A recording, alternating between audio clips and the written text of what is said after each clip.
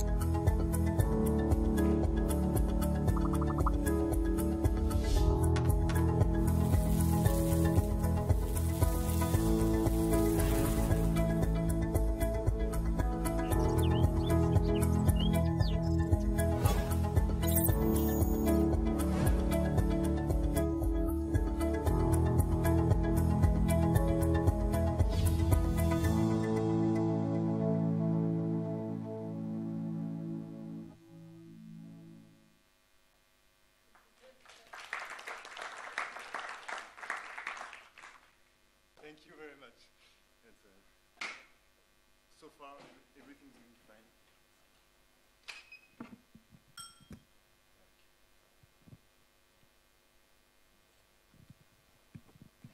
Hello, good, mo- good morning. Uh, thank you very much for being here. Um, I don't know if I should speak English or French. Is uh, someone more comfortable if I speak English? Okay, okay, I have my answer. Um, excellent. Euh, comment ça marche Là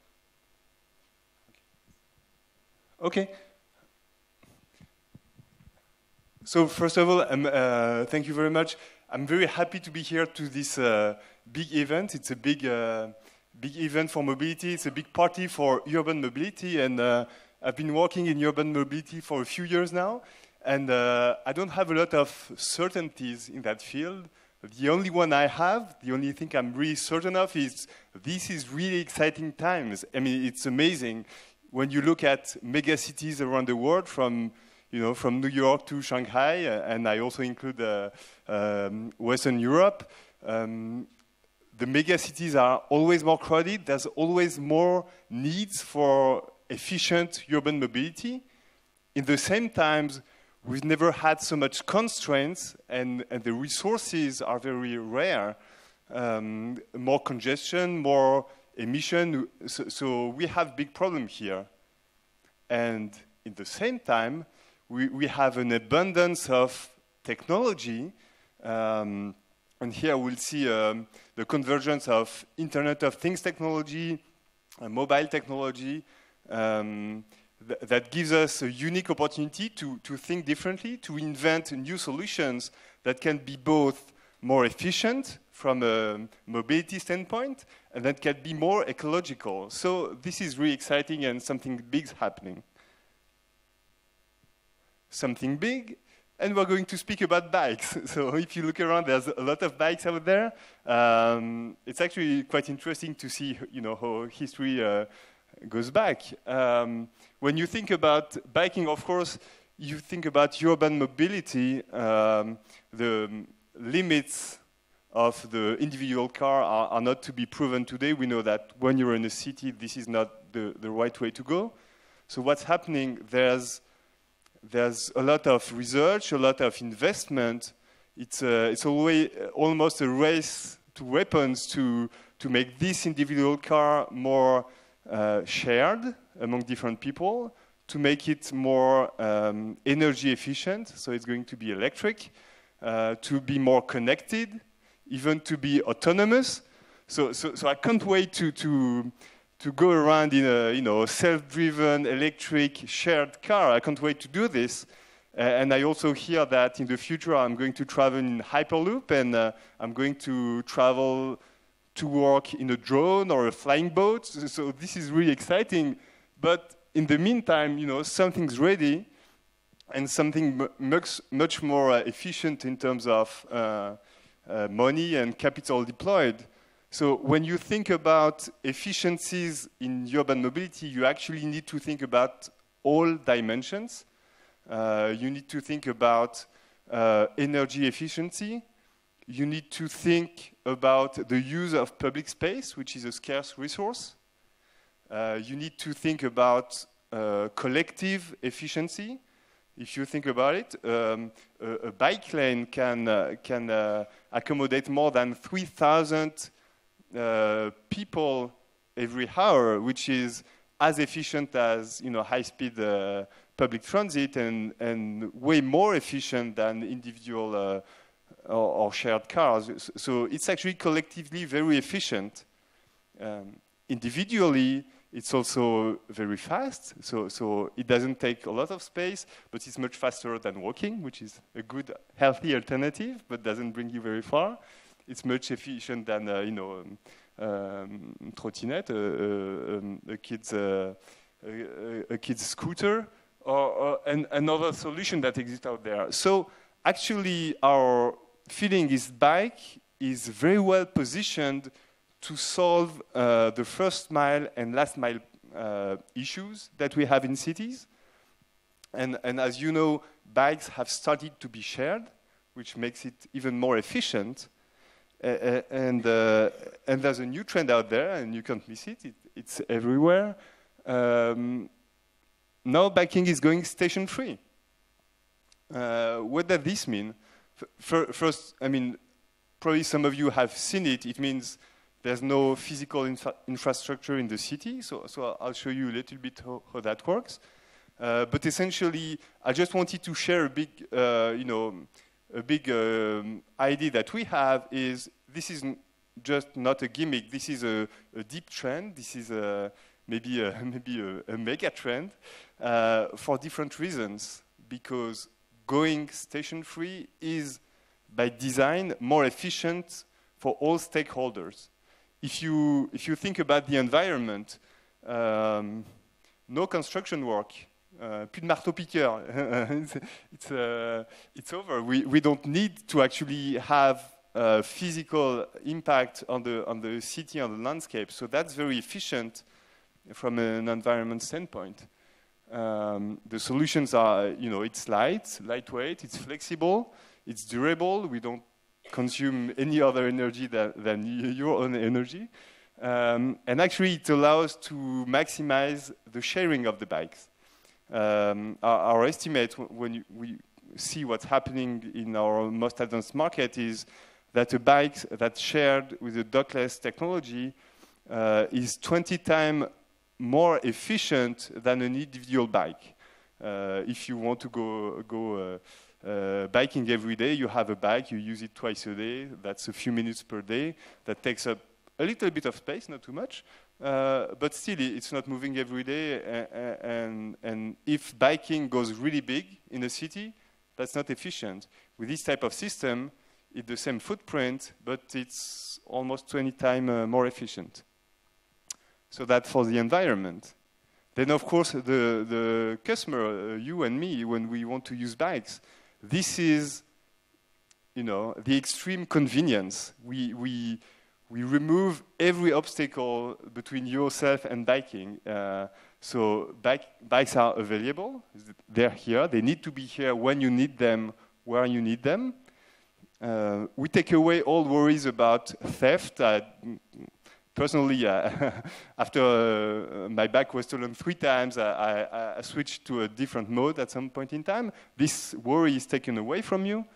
Um, there's no friction, no, no station. You don't need to look for a station. It's right here. You take it and you put it back where, where, where actually you, you arrived. So no friction uh, from the user experience standpoint. Uh, it's pay as you go, no subscription. You just download an app and, and, you, and you scan the, the bike.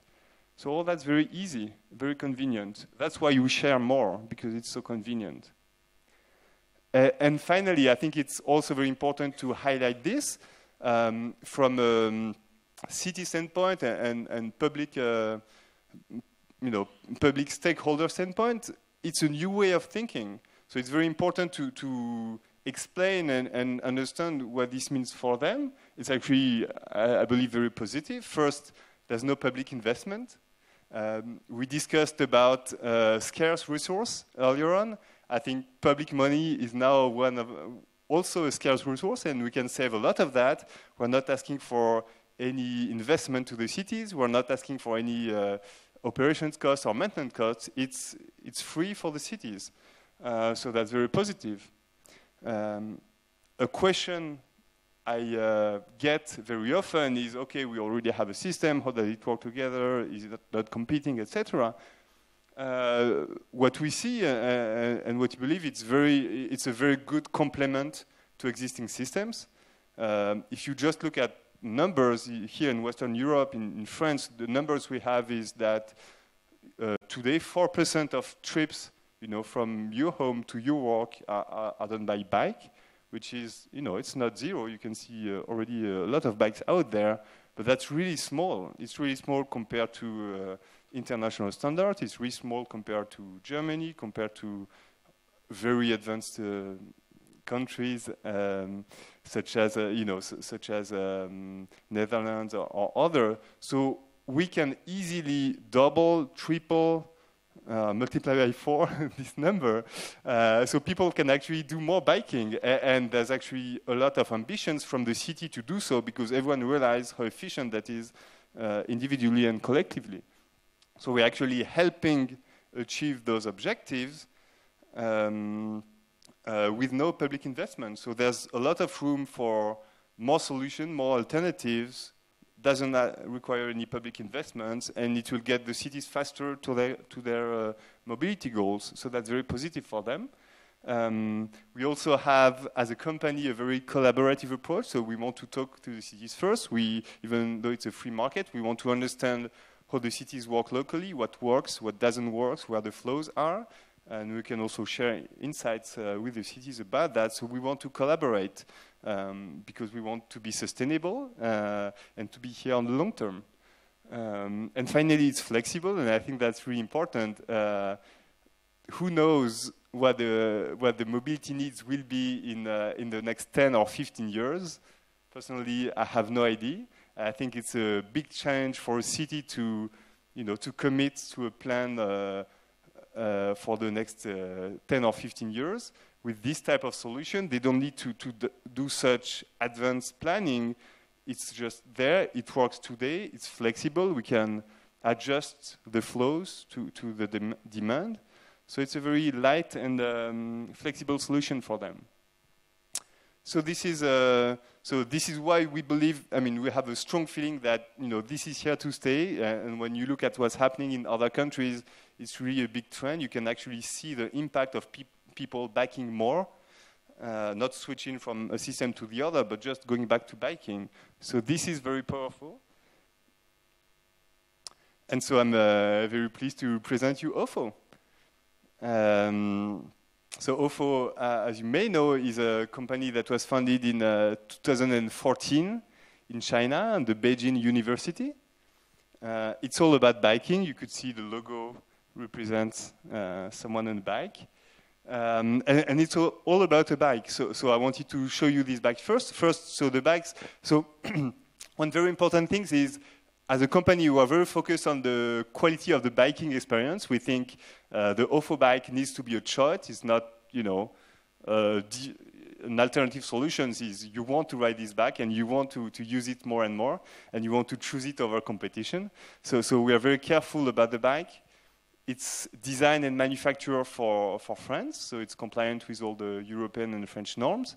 Um, it's adapted to, to your needs, so, so it's, uh, you know, it's, it's, it's relatively lightweight, it's nice to ride, and I encourage you to try it. It's got some uh, internal gears, so, so uh, three gears here.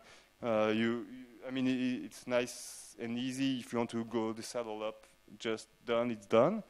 So pretty nice bike, but then the magic is not here. The magic is um, the simplicity that I described. Um, it's actually there's not much to say actually. So I've got here uh, I've got here my, my smartphone app with um, with a OFO app on, so you can see uh, the uh, Grande Halle de la Villette that was uh, two days ago with a lot of bikes. So first you find the bikes near near to you. You you you say unlock, and you just put your you just put your phone near the bikes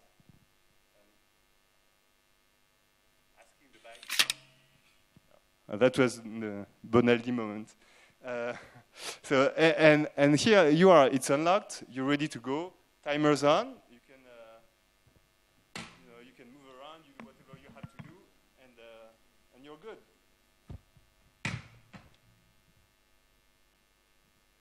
You arrive at your destination. You park it like you would park your own bike. So you find a backing parking spot or a, parking area that we encourage you to respect uh, through the app. You park your bike, you just lock this little thing here. Yeah, and it's done. Trip is completed. Uh, confirm. Uh, this was zero calories for me, so this was a small trip. It was perfect. Done. So that's that's the absolute convenience uh, to use the bike. Uh, there's not not much else to say so, so I just wanted, but you've seen some numbers in the video. I just wanted to to put the context of uh, of the company. So, so actually, the numbers are higher than the ones on the video because they were. Uh, it was shot a few weeks ago. Um, so, so the company is present in 180 cities um, in uh, 15 countries around the world. Um, it, uh, it deployed already 10 million bikes. And uh, the, one of the very important achievements is 4 billion rides, uh, green and convenient and easy rides were, were executed in real life on those bikes. So, so that's very important, and that means we're able to operate at very large scale. And what really matters with operating at, at large scale, and that's very important for us as a company, is the impact that we start having. This is not just a gimmick, it's, every day, uh, 21 million kilometers uh, are rode on this bike every day. That's more than 500 times going around Earth every day. That's very impressive.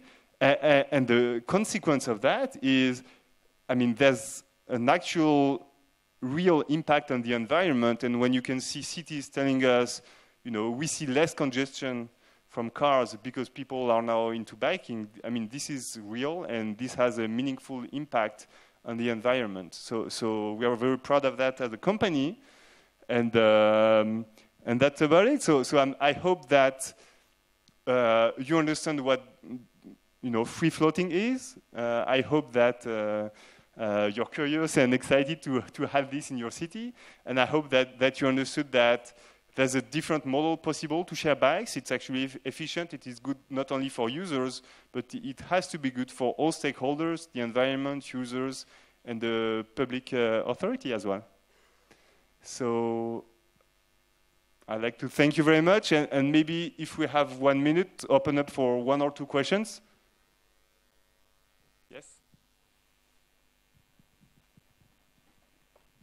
Thank you. My name is Caroline. I work for UITP, the International Association of Public Transport. I was wondering how do you ensure orderly streets and how do you handle damaged bikes um, and how do you ensure the user parks them in official parking places? Yeah. So, so of course, it's a, it's a question I get a lot. It's, um, it's, um, it's not an easy one, but what we believe is um, uh, being, you know, having a light footprint is very important. It's not only emissions; it's also, you know, visual pollution and, and the uh, environment broadly. So what we do to do things is several things. First, we speak with the cities to understand, you know, what good parking should be, where it should be, what, what's a problem, etc. We can uh, educate the customers, so we can actually in the app display, hey, you know, in this area, this is the best parking area, uh, and it's it's virtual, so there's no physical indication of that, but in the app you see where you should park.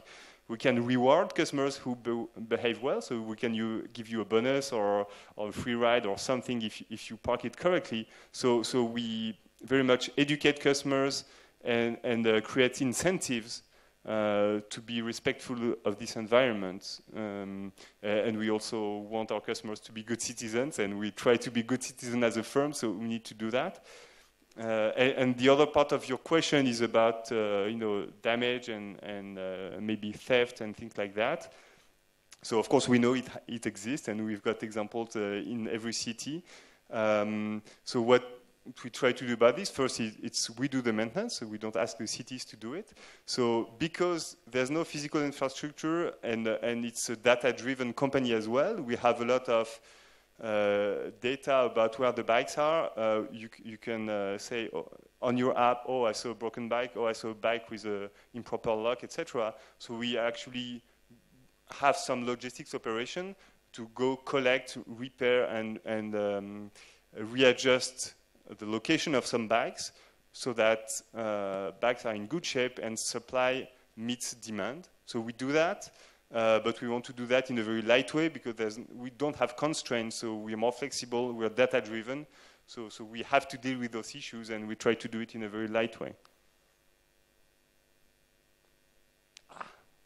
Um, so we have time for one more question and it has to be short.